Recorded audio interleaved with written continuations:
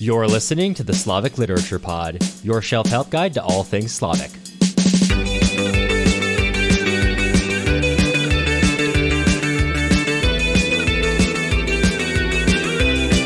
All right, let me get my let me get my uh, Las Vegas radio voice on. You're listening. To, oh, I don't like that already. Hold on. that was creepy. That was bad. That That, was sounds bad. like that's coming out of a van that you're near. Welcome to Office Hours. This is the new bonus episode for the Slavic Literature Pod, where we will address your questions, get into more general stuff that's going on in our lives, and uh, really die on some hills. I mean, get on some hills, die on some hills. I don't know. We'll see Same if this thing. is what gets us canceled. yes, this is the office hours that I would get fired for hosting in real life. right. You can have it for free in the virtual space. Yeah, yeah. Every time Matt has an outburst in here, just know he was once looking a student in the eye and keeping it in. Yeah, yeah. Many th- many things are left unsaid, of course.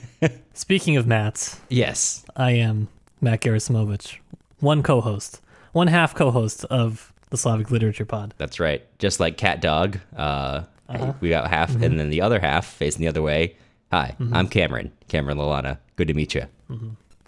Nice to meet you too.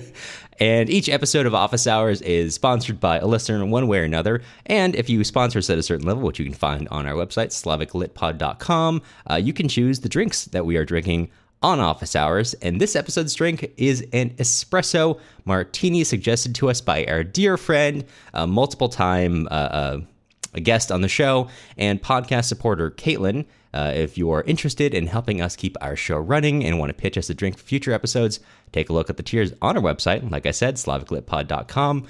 Glad we've got the espresso martini today. It's early on my end. It's uh, Thursday. It's day off of work. I'm not drinking before work. Nothing like an espresso martini at 1 p.m. on a Thursday for me. Yeah, it's, see me, you know, it's like sexy morning drinking. You, that's problematic afternoon drinking. yeah, I think you can get away with like a little bit in the morning, like, oh, this is a fun kind of day, or a, a little early in the afternoon, like, oh, this is a, a kind of end of my day. But I'm at the point where I'm in between both and should not be drinking. Yeah, afternoon drinking is only if you're doing a continuation of morning drinking. Um, But I have already had Which three I'm cups not, of coffee today, so we're gonna see. Which you're not. Yes, that's true. We're gonna see how the espresso martini interacts. Those are the three cups of coffee. oh, yeah, baby. So let's start off with with some personal stuff. Matt, let's enter the hobby hole. Please take me deep into this hobby hole, Cameron. Where are we going? You'll be noticed we've got more branded segments now. So if you'd like to sponsor a segment, if you are perhaps uh, I don't know IGM or maybe Coca Cola, Oh, you were so far off. I think we got to go Hobby Lobby. Go Hobby. Hobby Lobby, please. We can do better PR for you than ISIS can. Um, sponsor us. but now that we've entered the hobby hole, uh, Matt, what have you been getting up to recently? What, what what hole are you in in terms of hobbies? Uh, I got a few hobbies brewing down, down in my hobby hole. Uh, Sponsored by Hobby Lobby. Sponsored by Hobby Lobby. yeah. First one, getting swole slowly but surely. Mm. Hell yeah, brother. It's happening. Hell yeah. Yep. It's happening. We've been trying to. We want to change our podcast art to that old meme of like the two. I, I think it's from Predator. The two guys like shaking hands, but like to show off their muscles. That's what we're, that's what we're trying to do do here. yeah. Yeah. That's going to be the new podcast art eventually. we paid too much money for our current one. It's too good. There's, you know, we got to switch it out. Yeah, we got to bring it go back to roots Back to our roots. Yeah. of doing things for free. But yeah. So, you know, taking fitness a little more seriously over the summer while I have some time. It's been good. It's been good. Never has my body eaten so much protein. Sure. Yeah. Yeah. No, Matt's been Sure, eating sure. crazy amounts of protein. I've been I've been witness to this. Yeah, yeah, we have uh, me and Cameron have matching protein powder. we do. Well, we got we got matching everything, matching gear, matching protein powder. yeah, yeah, yeah. so that's been good. I know, I need to get back. I, I, I fell off working out in the last couple of weeks. I need to get back into it so we can be the Swole Brothers again. So I can keep sending you photos at uh, 11:30 p.m. my time and like one in the morning your time of me just in my office Perfect room. time. Perfect timing. Um, so okay, work it out. That's a good one. That's important. Uh, have you out. are you doing any other hobbies that are maybe detrimental to your health instead? detrimental, yes. I always have at least one at a time that's detrimental to my health. Right now, well, I was gonna say I've been no lifing Diablo 4, but that's not really true. I've been Sure. playing Diablo 4, but I've been so busy that I have not been no lifing it. right. I get like maybe like one day every 10 days at the moment where I don't have anything at all to do. And then like, okay, nobody talk to me. I'm just playing Diablo today. yeah, that's that's important. That's an important one. yeah, so that's pretty fun. And uh, yeah, I, I was in, in this moment where I was trying to get my life together. I was just thinking, you know, what would be great is if I started keeping a journal again. That would be helpful because it went really well for me last time. I have like seven journals that each have about three pages filled up in them. right. so you know, I go on, I buy myself a nice journal, get into that hashtag Bujo life What- for about a week and a half. Yeah, I gotta I gotta understand what this no- what the fuck is a bujo life? You don't know what a you don't know what a bullet journal is Oh, that's what that means. Uh, well, I know what a bullet journal is. on Instagram in, in the Bujo community. That's uh, I what hate people that. call it. I hate that. Yeah, me too. Yeah, me too. I, I, I wrote it ironically. um, but of course, like all things that start with great irony, they become permanent fixtures in my speech. Yeah, yeah. So that's unfortunate. This inspires the same flight or uh, fight or flight response uh, as every time you say traders when you say Trader Joe when you mean Trader Joe's. Uh, would TJ's be better? TJ's is acceptable. Yeah, okay, okay. It's a little more. It's a little more informal. yeah, yeah. I, I don't call Trader Joe by his full name right, that would be impolite. Just hearing someone say traders sounds like someone calling San Francisco Frisco. Frisco. Um, I could start doing that too. No, I don't. I- I'd rather you didn't. I don't. I don't. I don't want to stand up for San Francisco on any front, but I will stand for up for it, and the, specifically the front of not calling it Frisco. Um, how about San Fran? San Fran's fine. I think that's more of an equivalent to traders. what? That's all right. We'll know, get into this later. That's this is going to be a later argument. um, so yeah, that's that's my hobby hole. Getting swole, Diablo Four, Bujo life. Hell yeah, brother. W- what have you got brewing? Uh, I have well for my no lifing it. I my girlfriend just got me a MetaQuest two as an early birthday gift, so I've given up on most of my earthly aspirations uh, in light of being able to pop that little buddy on and play some rhythm games. Any other um, any other games that might be concerning? Any other? Oh, I think I don't. I think it's Sword and Sorcery, which is like a sword game. You know, which sounds like all right. That's normal. Uh, you can like grab someone by the neck and then stab them in the stomach, and it's a little weird how like good they programmed that to be. You can sweep people off their feet with their axe. It's fun, but it's like you take a step back and you think if anyone saw me doing this, I feel like they would be concerned, and rightfully so. I'm I'm like looking at this. It actually looks pretty fun. No, it's great. The other day I was fighting knights and I did not know how to get through their armor. So what I did is I grabbed a knight by the neck and I used him to punch the other knights. And that worked. turned out to be a surprisingly effective strategy up until the point when I had a knight in either hand grabbed by the neck, punching like knights approaching me. And then that was apparently such a strain in the system that the MetaQuest 2 almost um, uh, shut down. it be- that it really began chugging. All those Souls like games finally paying off. Yeah, you know. Yeah.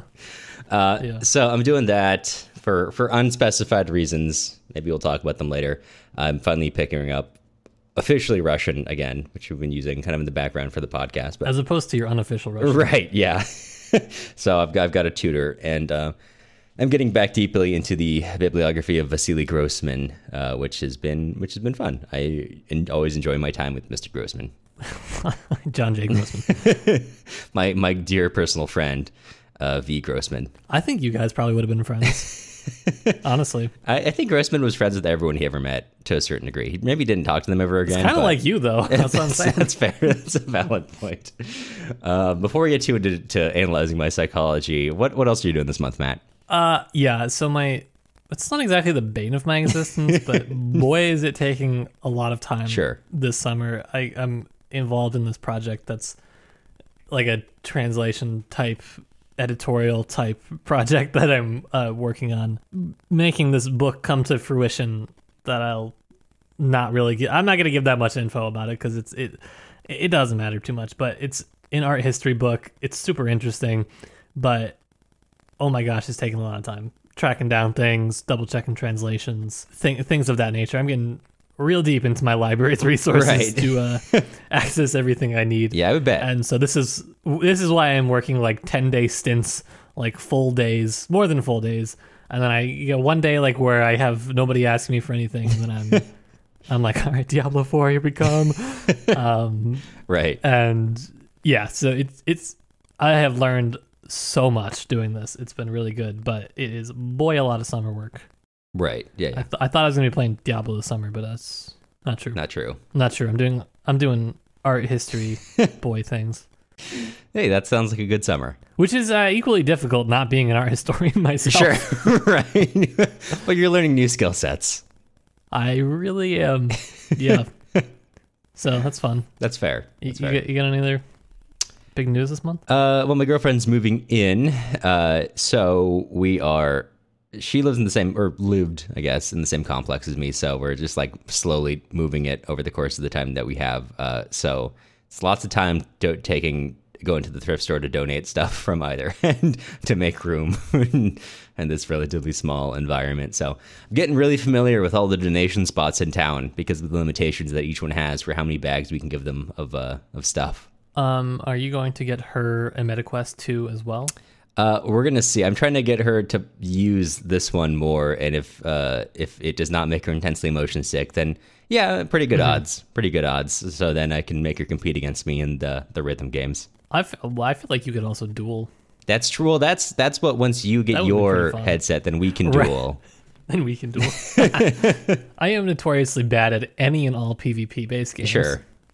I think we should get into this uh, the, the sword combat game that I've been talking about because I think it'd be very funny for both of us to be bad at swinging swords and trying to kill each other. Yeah, it would be good. I kind of, I, I'm kind of into it though. Like, I don't know. No, I think Maybe that's our next podcast. Our next podcast is uh, medieval European combat from two guys who know nothing about it but are determined to learn by killing each other. I would listen to that. I mean, the way you described it sounds pretty good. That would be, you know, if we ever need to pivot, dear listener, that's what we're going to do. We're going to do day zero learning medieval forms of combat. Uh, and that's just going to be our channel, like week to week, our progress until we become, you know, um, I'd say killing machines, but I feel like that's not really a medieval thing. I feel like it's kind of like a more like a poking holes in someone and then they die of sepsis machine, really, is what you did. we are sepsis machines. Um, but speaking of questions of of um, great import, we get some. We got a listener question. That's a big one. Yeah. Uh, and got a few. Yeah, and you got you got some thoughts. And I so let me let me pose this to you. Uh, from I think this this comes from our this comes from our Discord. Do you have Mattingly Gerasimovich a literary Hmm. hill that you will die on, or maybe just a hill that you'll die on? yeah, I got a few. All right, I, I think actually most most of my opinions I'd probably die on because I'm just really stubborn. sure, sure. uh, in general, but I was going through the old Bookstagram the other day as I was, as uh, you know, I got to give the preface as I told you. Um, Yep. And I was scrolling through. I don't remember what, but it was some some Instagram reel on War and Peace, and I don't really remember what it was. It doesn't matter. There was some argument going on in the comments because, of course, there was. It was like a really, po- it was an extremely popular video for War and Peace, which is uh, we don't get so many of them, Right. right? In, in our in our corner of the world, so it drew in a lot of people who aren't familiar with Russian literature, and there was this argument going on about literary fiction, and somebody was kind of saying, or actually maybe it wasn't even War and Peace. I don't even know. maybe it was a reel about literary fiction. Either way, I'm going to make my point. Um, somebody was arguing about why why we need like the preface literary because everything is just kind of fiction if you think about it.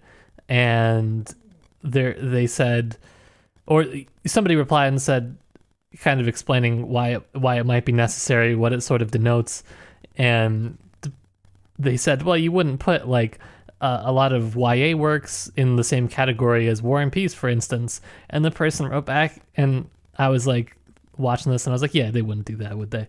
And then they wrote back, and they're like, I absolutely would put them in the same category. And I was like, ooh. uh, and I almost, I almost combusted. We've encountered someone too powerful to talk to. Yeah, so I don't know where that le- left me.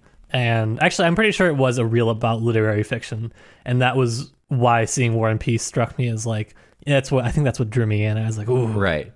Discourse. Is that how? And that's the other day. I, for context, sent me this list. I think it's Time, like top 100 YA reads for the year. Is, is that where this article came from, or is that a different? no, Thing. that was different. That was just my research Got because it. I wanted to talk about YA and my dislike for it. Right. and I want I wanted to see what like what do people consider YA? That's what I wanted to see. And this was by time whoever wrote this should be fired. uh, number 13 on their list. Well, first of all, the list didn't include anything that I don't think was even really considered YA. It was just books by or vaguely relating to teenagers. I think mostly consumed by teenagers. Maybe was the what I could right. not tell. The, uh, it's, yeah, so I, I guess it wasn't it, it wasn't numbered, but uh, pretty high on the list was Anne Frank, The Diary of a Young Girl, which I was like really, which sorry, as we're doing this, I'm scrolling back, so I'm like, who who who published this on time? Yeah. How we made this list? Oh, it was convened. Oh, it was a panel. Okay. All right. Oh, oh, so you should all be fired. So when I saw that on there, and I think I I think what their what their methodology here was books that are mostly read by teenagers, and I think it's true that this di- the Diary of Anne Frank is mostly read by teenagers, probably in school. Sure. Uh, uh, however, I don't know if that makes it YA, but also that gets into discussion of what YA is, which is an entirely different thing. But that to me, that had, and I mentioned this to Matt, that had the exact same gut reaction as the time that I think IndieWire had a panel of people put together the best uh, movie sex scenes of the 2010s, and they included Midsommar on the list. And if you're not familiar, the only sex scene in Midsommar is a very is a cult rape scene. So whoever put that one on there should be a on a watch list, much like perhaps whoever chose this book. Yeah, no, not yeah, yeah. So, so I didn't, I didn't, I didn't like this list. Um, not that the books on there like shouldn't be read. Is not what I'm saying. Just the, uh, I, I was like, have any of you ever heard of a YA? Because I'd, I'd love to know. I really would. Right. I mean, they get to the problem as we discussed. YA is, and maybe someone has put together a more informed take on this, and I I would invite anyone to send this to this. Send, People definitely have. yeah, if you if you know good ones, send it to us. But why is just like it's a marketing term, which makes which is why these lists are so incoherent. Because when I'm thinking YA, you know, I'm thinking the YA of when I was a teenager, which are a lot of books that have been forgotten, and then The Hunger Games, or I don't know, um, Divergent, or whatever, like books that are written exclusively for the consumption for to be consumed by teenagers. But Yeah, but Divergent was written, wasn't it? Didn't it take place in that very exotic, like, war-torn dystopian land that we know as Chicago? yeah, it was very unique in the way that yeah, it portrayed Chicago as a war-torn dystopia, and then every young person could be divided divided into one of four houses, which you know were based on their main character trait, which was a you know pretty unique, I think, integration Yes. of the plot there. Um, yes, they were really just missing some sort of object that would perhaps filter them into those such houses. yeah, That would have been that would have been helpful. I think. yeah, I think so too. I don't know. I only read like the first book. I, I've never read a single Divergent book, so you're I've actually never I've never read a book. Um, at all. yeah. Is this, is this a bad time to admit that that we're both a, Is it, yeah, I just like to um, dislike things that other people like. that was the entire impetus for this podcast. yeah, pretty much. Yeah, but I think we came to the conclusion that um, that we don't buy into YA. right. I there are YA Sorry. books I liked when I was a teenager, but and this is my honest, honest to God belief. I think the the American national security apparatus is like a very bad thing on the whole. Uh, but if we did turn the NSA towards making sure that adults like didn't watch more than two children's cartoon series a month, I, I don't think I'd be against that. I think that'd be a good use of their time. And YA, you think should also be on, on the watch list? I think you get a higher limit. I think you get like three to four. It doesn't count if it's a reread. I'm I'm willing to be a little flexible on that one, but there should be an upper limit. Yeah, yeah. I mean, so I was like scrolling through the list, and I was just like, I don't know, like I was scrolling through a list of things that could be considered YA, and I was like, some some people put on like The Giver, and I was like, okay, sure. I don't know. I read it in eighth grade, so what am I going to say about it now? Right. Um, you know, everybody of course cites Harry Potter. Uh, sure. I don't know. Well, yeah, the, the, the problem with the list, getting back to the thing that's a marketing term, is there's lots of books in there which were not intended for teenagers, but are mostly consumed by teenagers because they're a very popular part of Right. school curriculums. Um, whatever, like The Great Gatsby, uh, Catcher in the Rye, you know, similar books.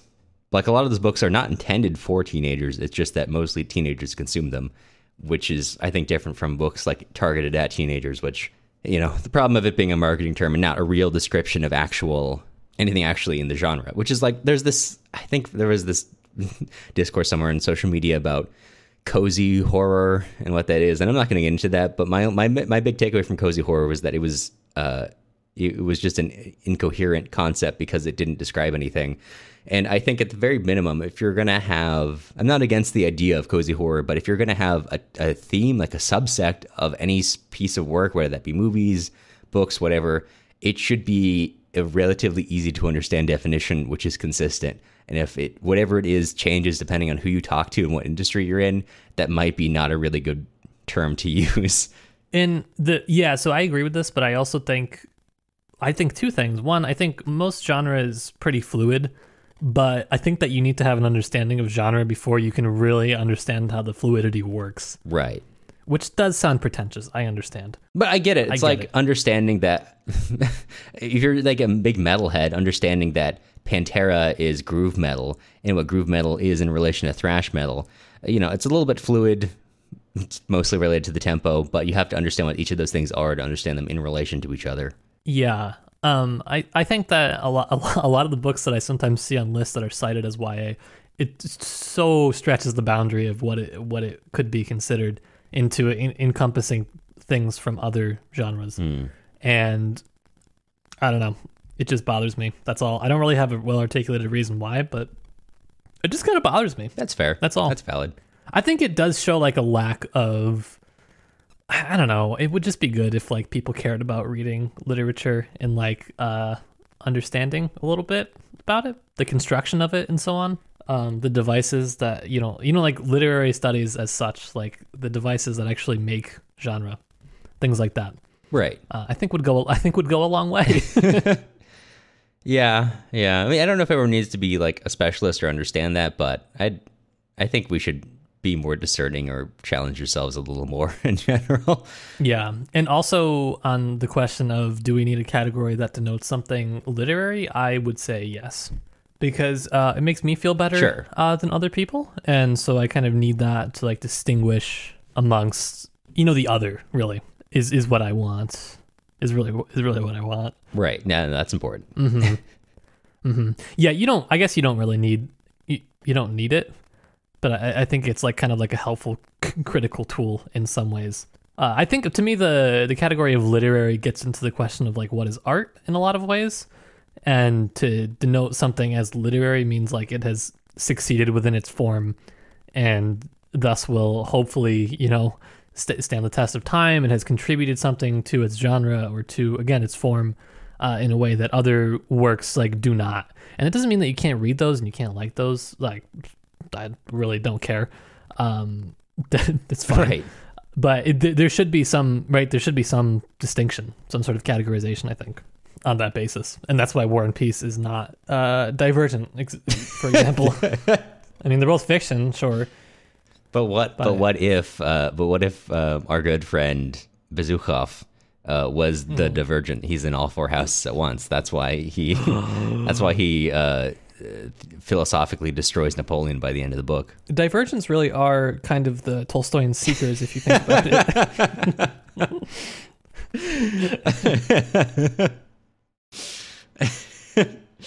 yeah. I can't remember what else I had to say in this, except that it, it bothers me every time I go online. Sure, sure. I think you're just bothered when you go online, really.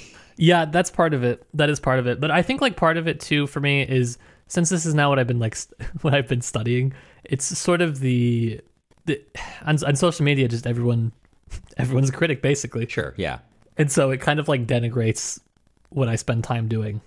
When just any schmuck can be like, okay, I will start a Russian literature quotes page and I will post out of context quotes that completely misguide my audience irresponsibly into thinking that somebody said something that wasn't really the case. Yeah. I can think of any number of them on Instagram. Instagram is far worse actually than other platforms. Yeah.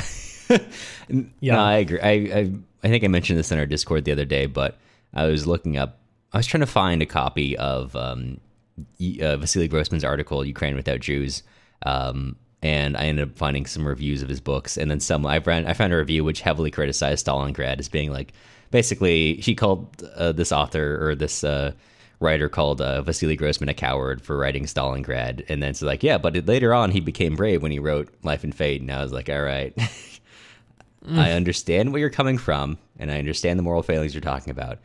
I, I am, I, and you don't have to be a specialist to do this, and I'm not a specialist, but I feel like this is a not a good categorization just to say, all right, when when is our authors brave and write good books, and when are authors cowards and write, or you know, vice versa, when are they cowards and write bad books, or brave and write good books in the Soviet context? Uh, that's its own thing. That person did have a PhD or was training to have a PhD, and that is an example of of um, maybe everyone should be critics because I mean this is things people with degrees that study things sometimes have god awful takes. Yeah, I mean, it wasn't an uninformed take. I just, I just, I disagree with the idea that you can reduce an author down to like cowardice or bravery, especially in the face of, you know, a Soviet system where like, oh, why didn't he write Life and Fate earlier? I don't, why didn't he write Life and Fate in the middle of World War II when he was like on the front lines with the Red know, Army I- as I they're that. liberating Yeah. Berdichev and he's finding out what the Nazis did to his family? I don't know why he might have had a brighter view of the Red Army at that time than later in life when he talked to people coming out of the camps. That's a real mystery to me. Right, right. I know that was not that was not a very good article. I'm a little surprised that it got published. yeah, that's one of my hills will die. I'm not gonna, I'm not gonna link to it. Um, because no, it doesn't really. It doesn't really matter. I mean, plenty of pe- it's it's also not just one person's take. Plenty of people feel that way about Grossman. Right. I think yeah, I think um Robert Chandler in one of his intros mentioned that that's like a very common understanding, which blows my mind as uh as like an understanding you could have that an author who when his wife was arrested by Yezhov in the middle of the Great Terror wrote directly to him and be like, "Hey, can you let my wife go?" And also, I've adopted her kids, so you can't send them to the orphanage. To accuse him of moral failing, uh, rather than acknowledge that the Soviet system compromised a lot of people, um, and you could have someone who's incredibly brave in many ways also do many coward, cowardly acts, and instead of saying that that's part of the future of life where we in our own lives do a lot of brave and cowardly things sometimes on a daily basis uh, under much less stressful circumstances than grossman was in Oh yeah, um, it just feels yeah bizarrely abstracted from any sort of reality Also, that is kind of what the book is about. Is about how the how the two can coexist, which uh, again would, in some ways, constitute some sort of misreading of the of the book that is being valorized in order to make a point that's based on your contemporary, you know, set of morals. No, that- that's true, especially because this author then also takes that exact quote of like, if you've never been in this cir- circumstance, you can't understand how little power you feel, and then immediately follows it up with and is like, yeah, too bad he didn't overcome that. like, it's incredibly brave Yeah. for you to write that from. You know, whatever, wherever this person was from, to look back at like a Soviet Jew in the 1950s who is under Stalin's personal gaze, like not being Yeah. more uh, anti-Soviet, that is an astounding demand to make. Like someone who would have probably been executed were it not for Stalin's timely death. you probably, That's yeah, yeah, but that's the Grossman cast for you. that's the Grossman cast. Um, I can't wait to read more Grossman though God, I, on the podcast. I've been I've been getting back into reading him. It's been so much. It's been a good time. I've been thinking a lot about. We talked a little bit about. I, I'll save this for later, but motherhood in relation to the books. And now that I've been reading more of his earlier work, I'm really fascinated by his evolving. He, the way he portrays motherhood, because it's a really big theme for him throughout all of his works. From like his very first published work has to do with a commissar giving birth, and such a fascinating relationship from that to later works on motherhood. But if you contrast it too with like some of the earlier if you'd consider the socialist realism like if you contrast it to like cement which is all about babies dying Right. essentially and mothers doing nothing to, well not only doing nothing to help there is nothing they can do to help there's everyone's starving uh not a good time in general there's just dead babies floating in the right, water like it's you know uh it's a little more optimistic Yeah. Well, it's also kind of funny. You can kind of see some of the, um, I, I don't know, gender dynamics of Soviet realism related to motherhood. We've got like Alexandra Kollontai being like, we need to revolutionize how, how how we raise children to make motherhood less of an individual sacrifice and more of a community effort to, you know, Gladkov, which is like, yeah, the children are dead. We can't help them. This is a lost generation. to like Grossman, who early works is like motherhood and parenting is important, but it's not as important as the revolution. To later Grossman, which is like having children is the future of our Soviet state uh, and all that. It's you know interesting dynamics here. yeah what are you gonna do But anyway, that's enough of the Grossman cast. Um, and to any other hills you want to talk about dying on? that was my main one, which is uh, I don't personally like YA that much. I don't think it's a good descripting the good good descriptor of a genre. I think it's a marketing term. Uh, if you decide to read it, I really don't care. You should enjoy it. Uh, it's great that it brings some people into reading. I do think though that it traps a group of people who then lose interest in reading once they can no longer to relate and relate to it, and then are like, "What do I read now as an adult?" Well, literary fiction. but you know, that's that's my hill. Um, more, more on the terminology than the, whether you like it, because I ultimately don't really care. Right. Yeah, that's fair. Like you know, enjoy your reading. It's great that you read anything, to be honest, compared to most people who don't. So Yeah. Yeah, that is true. Uh, so so now that we spent 20 minutes on my hill, do, do you have any hills? You, you got a hill to die on? I do. Now that you've had this whole thing about how people should read more, I've got a point that how people should le- read less, uh, which is that, and so this is related to something we're going to be doing on our Discord coming up, or maybe just past, depending on what time we end up doing that in relation to when this podcast comes out. Um, 1984. We put it in a bonus episode a long time ago. Love it. Great book. I will link this, my my that episode in the show notes.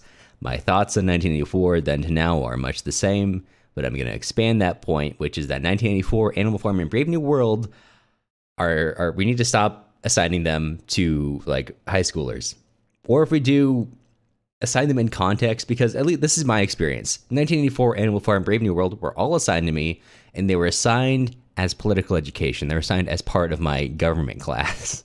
So Government. and that was one of the main ways we learned about government was from these these systems in each of these books and which were put up as like oh yeah there's america and then there's these worlds 1984 and brave new world which is amazingly cold world or cold world amazingly cold war to be like yeah either you gotta have american democracy or you've got 1984 uh, which in the 1980s, yeah, that was a relatively normal thing to teach kids. However, to maintain that now is is astounding, and also it it it, it does not teach people. If you want to use a book, I know I said this before. If you want to use a book to teach people to engage with their system critically, you should first teach them to engage critically with the government they live under. And then, in relation to that, you can meaningfully look at other governments because if you don't really understand the system you live under, then you can't meaningfully criticize other people's systems of governance. So, if you're going to need read 1984, you should read some books critical of the American context, in which I would put forth "It Can Happen Here" by Sinclair Lewis, uh, which is a depiction of how fascism could come to America. And I would posit is a much better book than, frankly, all of these combined. And I don't say that because I don't like those authors. I think Brave New World is a very good book. I think uh, George Orwell is a very good author. I think 1984 Animal Farm are some of his lesser works, but that's neither here nor there. Um, it just it feels so Cold War and so out of date to teach these as political education in absence of real political education and in the absence of novels which actually address it in the in the American context. It's wild to me, but of course, uh, American education systems being lacking is probably not the most incisive argument to make. Um, You heard it here first. right. No one said it before. Yeah, I, eh, yeah, I, I feel defeated in that front because I know no one's ever going to listen to me. But um, because yeah, what yeah, when I was like in, in middle school, I'd heard people complaining about learning about slavery as being like, oh, this is too negative. Why do we have to learn about slavery? So the idea you have to add, if if some of the attitudes I I've, I saw growing up with was learning about America's actual history is already too negative. Um, having actual criticism of the American government is uh, probably tantamount to treason to some people. So I don't think it's actually feasible, but but I think it is important because sorry, I'm going to continue. I was, I was about to lead off, but hear me out. No, it's good. So family lore as a side point. Um, sorry if any of my family listen to this. I don't trust any of my family lore. and Mm-hmm. the reason why is because I'm I am fairly confident that all family lore, every generation it gets passed down through, it gets reinterpreted through the generation that is telling it, and it gets reinterpreted through their point of view.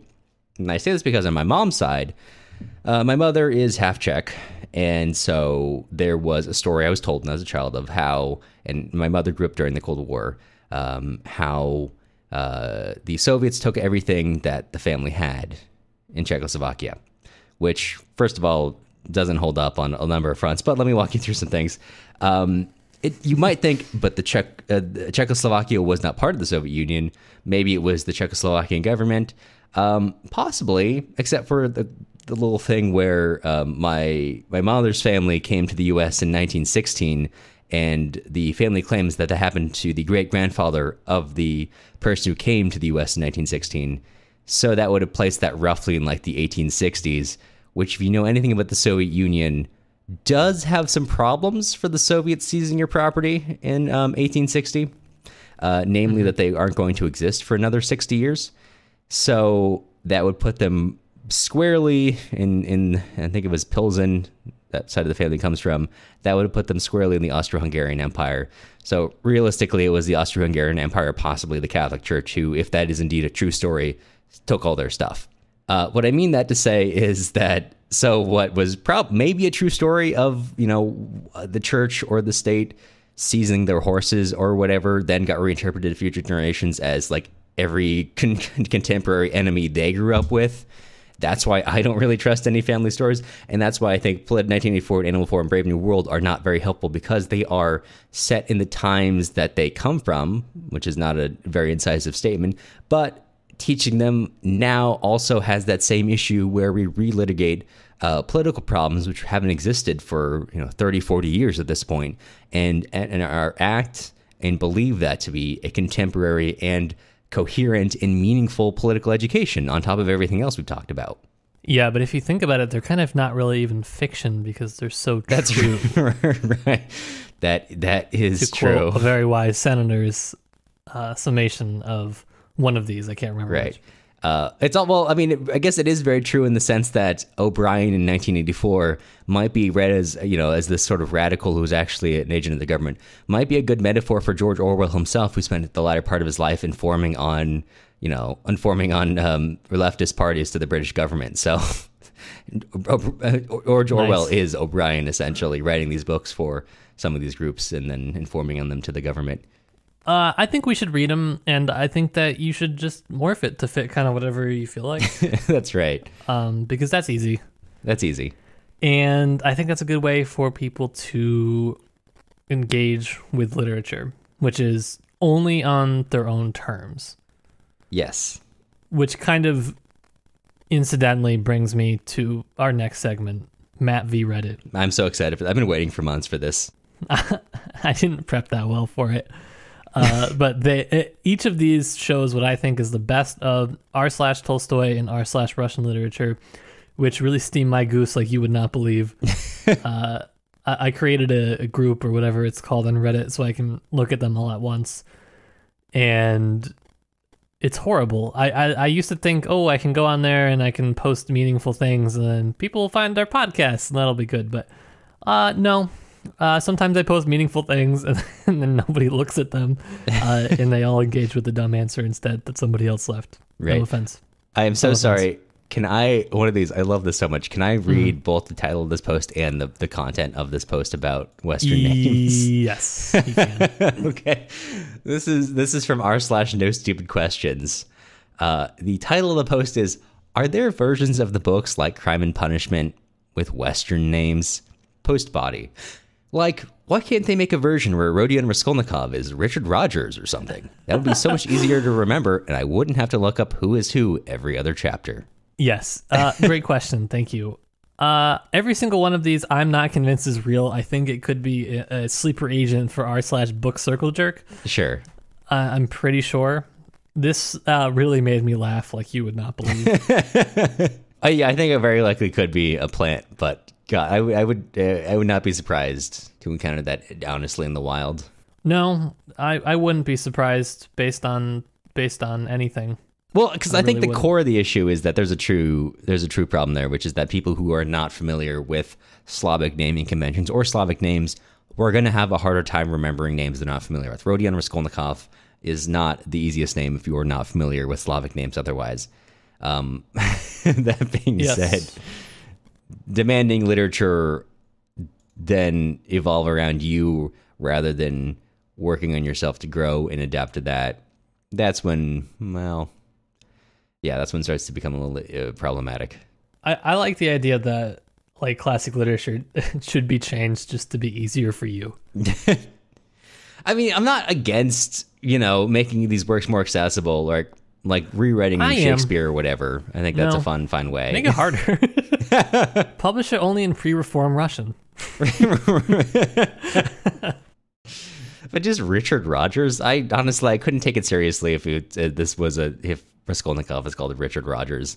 Hi, my name is Richard Rogers, and I'm a modern Napoleon. I've met five guys like that. I can't take that seriously. Yeah, well, he was uh, Mr. Rogers' bad uh, brother. right? You don't hear about him much after the uh, landlord incident. Yeah.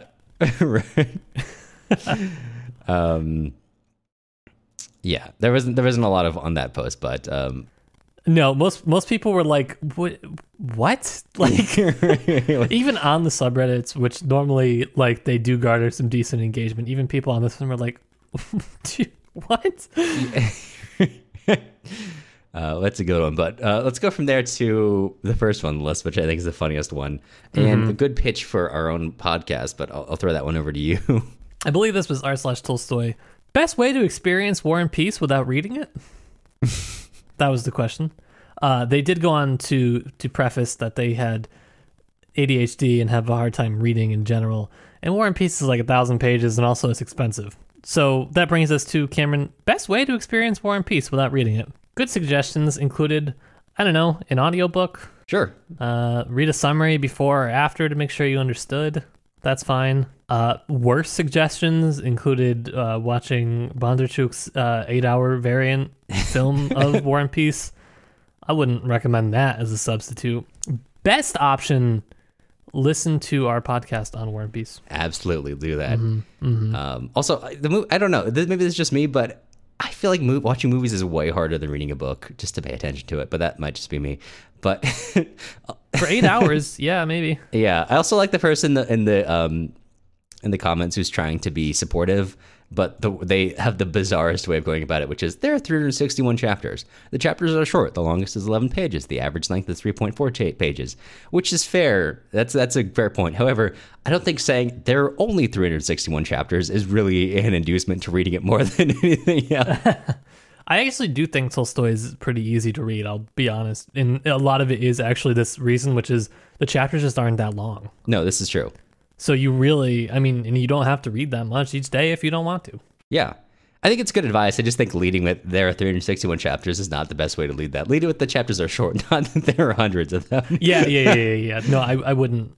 Right, I wouldn't. I wouldn't lead with that. But so my my issue with these two, this is why. Wait, I hold on. Really, Sorry, I just realized that someone in this in this comment section recommended that w- they listen to our podcast. That's funny. Oh yeah, that. Well, I mean, we're kind of like a big deal. Oh, yeah, that's Actually, I mean, we're so not. Even on Reddit, people every time someone mentions us, people are like, "Whoa, I haven't heard of this." Eh, it's been three years. What are you gonna do? Yeah, sorry, go on. my problem with this and kind of on like uh, bookstagram in general which is like where they where people who don't read a lot often encounter issues with uh, first of all classics second of all russian literature of this specific time period which I mean re- really we only read like the classics and masterpieces of this time because the pulp stuff just get translated. It was just whatever you know. It existed but it's not you know it's not the stuff that people read from this time period. But this issue is people want reading to be entertainment but it's not always entertainment and that's what is so difficult. Sometimes reading is supposed to be hard and sometimes it's not supposed to be that enjoyable. Sometimes it's just hard. Sometimes it's just a challenge. It can be a slog uh, and that is why i always kind of like like wince just like a little bit when I when I get on Reddit and people are just like, you know, trying to like shirk that responsibility that you have as a reader to be challenged and they're just like, oh, I can't do it easier, Right. you know, and that that that's what bothers me. And I think that to to your point, that's one of the important things of an important reason to acknowledge that literary fiction exists, uh, because then you can that gives you the ability with this characterization to know, okay, I'm feeling like I am in a place where I can be challenged, or I don't feel like that. Which, as a host of this podcast, all the time we're reading literary fiction. All the time in my own free time, I'm reading trash sci-fi because that's personally what I just find easy and enjoyable to read. Um, not that I don't enjoy going out of my way to go read challenging things in my own personal time. Uh, It's just it's not for all the time. Sometimes I just want to read a trashy Warhammer 40k novel, and that's what I'm going to read because I find that to be fun, and it's its own thing, and that also helps me recover, I guess, in a way, to come back to the more challenging works and figuring out where your limits are and figuring out, uh, and not like not not being like the person at the gym who's like, I have to lift a 50 pound weight even if I can't. I mean, get your reps in, get your reps in at a, a level you can do it, and that will get you stronger over time and figure out what works for you. It's there's just it's just not there's not one straightforward path to doing this, which I think is why it's reasonable to acknowledge the different forms of art in books there are. Yeah, I think that's why. Like, I mean, it, of course, it can be entertaining. It is most of the time. Yeah. But War and Peace is also a lot of fun. Challenging. Yeah, it is, but it's also challenging. And Yeah. especially people unfamiliar, like you said, with naming conventions, that is pretty difficult. Right. Um, but on a serious note, on why we need to have Russian names in Russian books, uh, there, you know, you I could actually see why this person makes this argument. Wouldn't call people Richard Rogers, but the the naming conventions that I find are especially difficult. I think people understand patronymics and they can get the basic naming conventions pretty easily. They're not really that difficult. Just read a Wikipedia article, you'll be fine. The hard part is nicknames. When people are called nicknames, that is difficult for people. That took me a while to grasp, but the different nicknames, they mean different things. The way that people address each other, especially in high society, it's really important. And you don't need to get that on your first read, maybe. Maybe you're really just like trying to follow the plot, and that's okay. But uh, on an actual note, that is why you need the, the names. That's the function they serve, is characterization. Right. Um, and you're not going to get it by calling Richard Robert, Richard Robbers, uh, Richie. You know, like it's, uh, you know, it's not the same. To divorce it like from its cultural context, when in that culture naming conventions mean something, uh, it it wouldn't work. Right. And I think that that reinforces a point which you've always made in this podcast from the like literally day one, which is that if you're going to read the quote unquote big idea books, War and Peace, Crime and Punishment, whatever, it's worthwhile to start with shorter pieces, shorter pieces that are easier for you to digest, a good way to, for you to dip your toes in maybe unfamiliar naming conventions and having to deal with fewer of them rather than like That's two right. dozen. Get those dogs comfy. I mean, come on. Yeah, exactly. um, and also, as Matt has always said, it gets you comfortable with understanding the ideas the authors are expressing before they start putting them to a thousand pages. So, Right.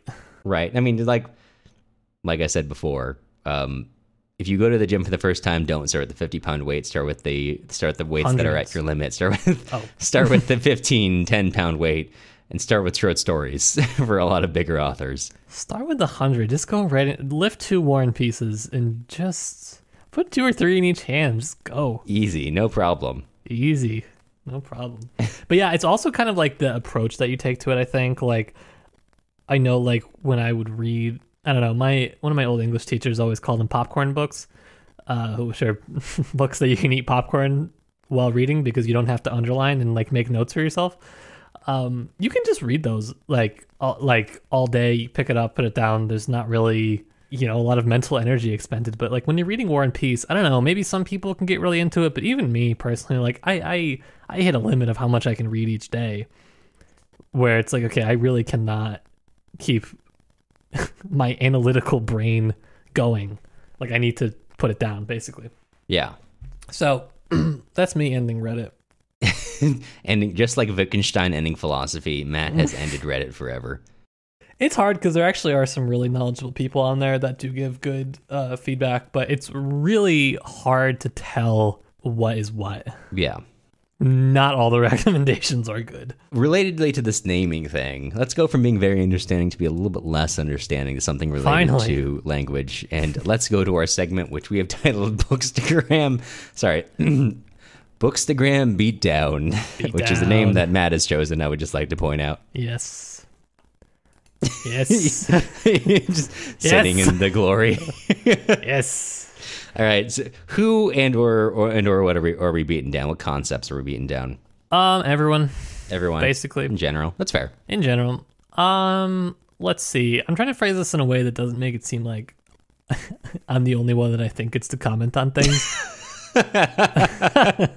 Which is uh, true, but not what I wanted to, to say. What, so there are some things that bother me when I look at Russian literature, Slavic literature discourse. One of them is the question that people always ask: What translation should I read? I do not care. Pick it up and start reading. See if you like it. Uh, if you don't like it, maybe you have a bad translation, but just start reading. Stop asking. Just look. You people only talk about like five books that are in the Russian literature canon on Bookstagram, and this question is asked on every single one of them. And there's no definitive answer for the most part on almost any of them. So what I would recommend, just find one that seems good.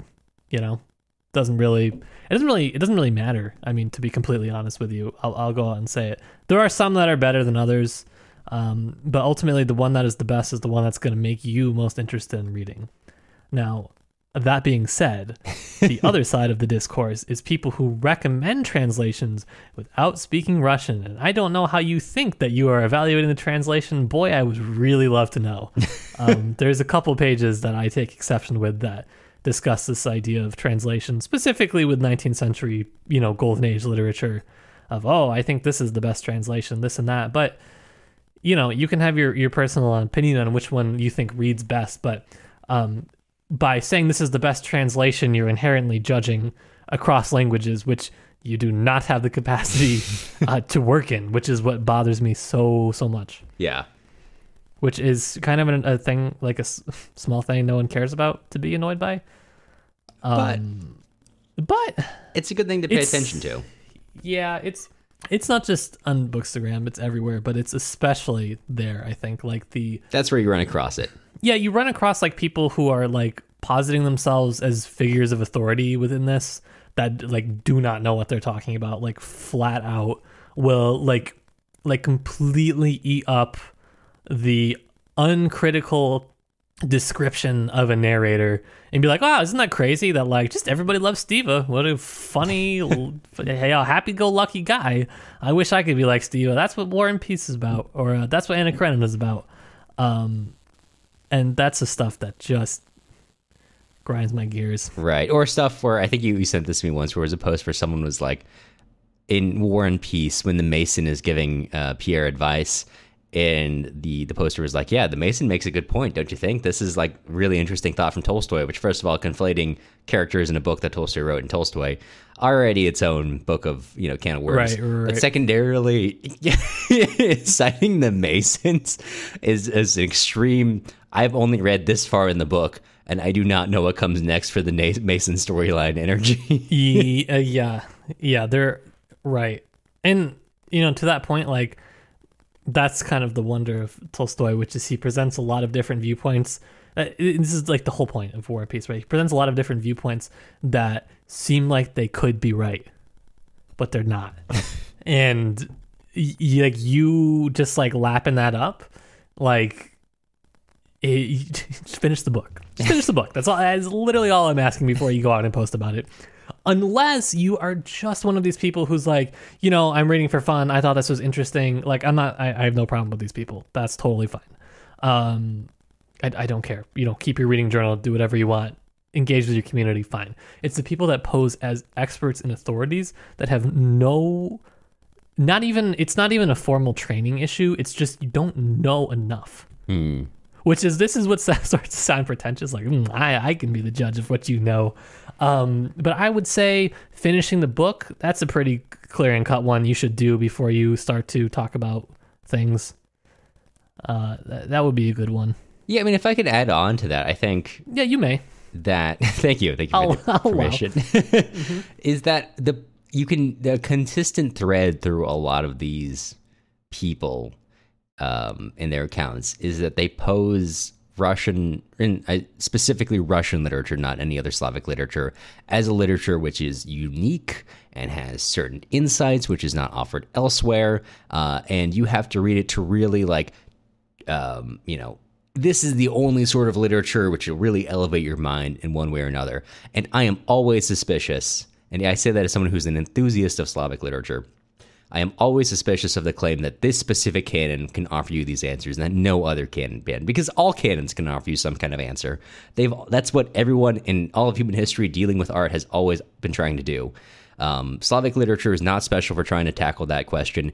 It has gained a certain mythos, and if you are talking to someone and it's apparent that they buy too much into that mythos rather than engaging with it as a piece of work which is of its time, addressing issues of its time, but also possibly addressing issues going forward. That's uh, that's a bit of a suspect view, in my opinion. I, I mean, I think I I love War and Peace. I think everyone should read War and Peace. I also don't think you should take War and Peace too seriously. It has good ideas and it has things you consider. It's also very funny. Like, not I don't mean you should take it seriously. Like, don't take Tolstoy or his ideas seriously, but like know that Tolstoy was having fun in a lot of ways. Like Pierre becoming a numerologist is funny. It's meant to be funny. Um, and it's human in that regard, dealing with big ideas, ideas, dealing with humor, dealing with low points, high points, whatever. It is a complex literature, like all the other literatures of the world. And if you talk to someone who is of the opinion that Russian literature or some sort of special big idea thing, you've got to take it extremely seriously, and you've got to take everything on face value then I think you should be a little suspect of the ideas they're trying to convey. Not to say they're wrong, just to say that I think that could be indicative that they maybe have not been that critical in their reading. I, I don't I don't really know why it is, but I can just tell you like the 19th century canon, like especially with men, it attracts a certain type of man. Right. And it is strange. Quite strange. Dostoevsky specifically right um, will attract a very certain type of person. It is concerning to me, mm-hmm. To say the least. um, and it is it is often people that I'm like, did like did you really read it? I don't know.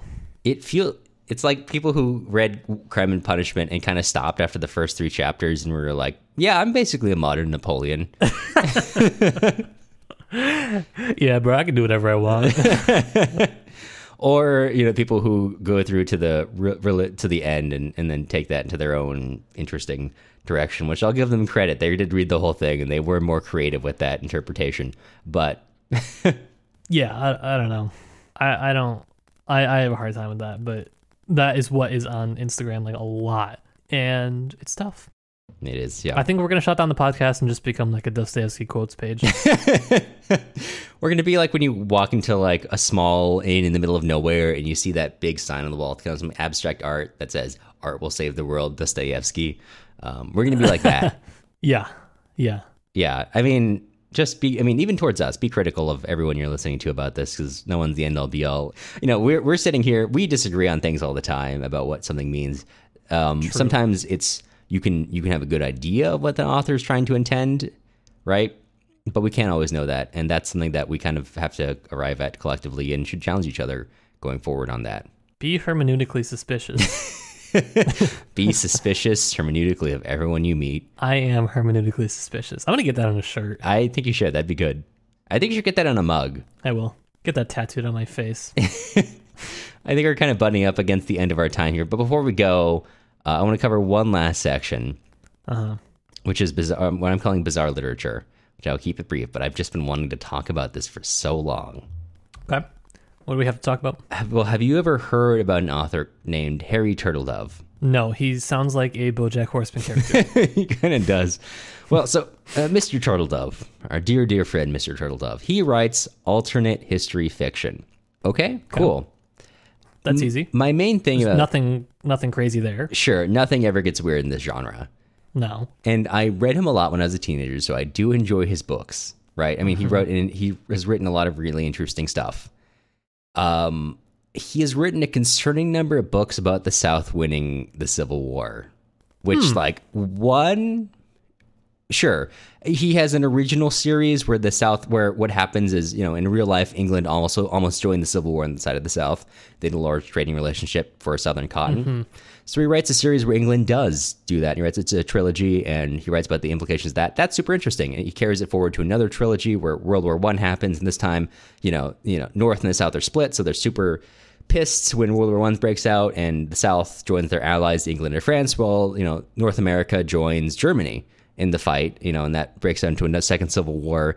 Very interesting. You know, Lincoln's still alive, becomes a traveling politician. Uh, Mormons out in Utah become like an insurgent faction who both sides are committing hmm. horrible war crimes against. Really okay. interesting stuff. However, but then you get, you get to his other Civil War books, which are like this book called The Guns of the South. And um, just if you hear The Guns of the South, you know it's about the Civil War. Can I just ask you, what are you kind of imagining as a storyline here? Um, I would say there is a faction in the South. Yep. And they have guns. Right. Yeah. and they use them uh, shooting and whatnot, Yep. uh, probably in and around the South, Yep. Well, which they are from, that basically. with their guns, which they have. Yeah, that basically colors the whole story. I'm just gonna add one minor little point here, which is that those guys are Afrikaners from before, right before apartheid ends, who travel back in time to give the Confederacy AK-47s. Um, And then the Confederacy takes the AK-47s and they win the Civil War with the help of very explicitly like. Even in the book, the Confederates are kind of freaked out by these guys because they're so racist, which is its own its own thing for Mr. Turtledove. But um, yeah, so the, the South gets AK 47s or AK 74s realistically. Um, and then you are mostly following this book through the point of view of um, General Lee. And the book ends, no joke, on his wife dying and then him being, you know, right after they win the war, he's like in this little ball and he sees like a young woman admiring him and he's like, I just realized I'm single for the first time in many years. Which is the weirdest place to end that possible. Just being like, all right, so I've got a whole book. This Confederacy gets AK 47s. They make sure slavery stays on. Also, General Lee thinks about boning. That's the book. It's like, come on, Harry, stay focused, stay focused. Not your own fantasy. right.